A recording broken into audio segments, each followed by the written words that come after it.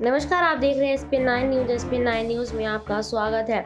उत्तर प्रदेश में विधानसभा चुनाव से पहले कांग्रेस महासचिव प्रियंका गांधी और राहुल गांधी प्रदेश के महिलाओं को साधने की पूरी कोशिश में लगे हुए हैं।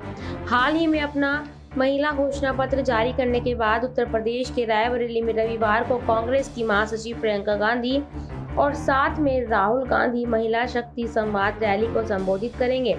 इस शक्ति संवाद में वे स्थानीय महिलाओं से बातचीत करेंगे। बताया जा रहा है कि राहुल और प्रियंका जैसे ही रायबरेली पहुँचे, उनका बहुत अच्छे तरीके से भव्य स्वागत किया गया।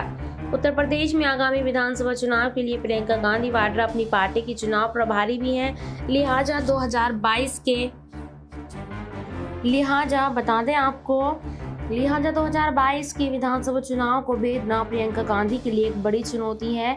उनके कार्यक्रम के मुताबिक प्रियंका गांधी रायबरेली के रिफॉर्म क्लब में महिला शक्ति संवाद रैली में शिरकत करेंगी।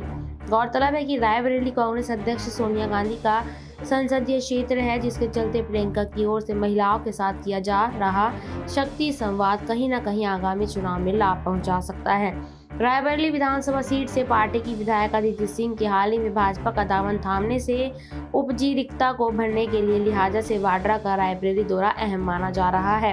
आगामी चुनाव में कांग्रेस द्वारा 40 प्रतिशत टिकट महिलाओं को दिए जाने की घोषणा के बाद वाड्रा राज्य के विभिन्न इलाकों में महिला संवाद रैलियों का आयोजन कर संबंध इलाके में संभावित उम्मीदवारों की भी पहचान करती है।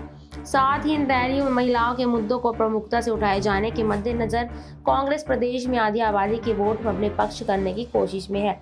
इसी के साथ बता दें आपको कल अमेठी में प्रियंका गांधी और राहुल गांधी साथ साथ गरजे थे और अमेठी में राहुल गांधी ने एक छत पर खड़े होकर अपना पूरा भाषण दिया था, जिसमें उन्होंने ये कहा था कि अमेठी की सड़कें आज भी वैसी ही हैं जैसी मैं छोड़ के गया था। अब देखना ये है कि रायबरेली में आज राहुल गांधी किस तरीके से गरजते हैं या नहीं।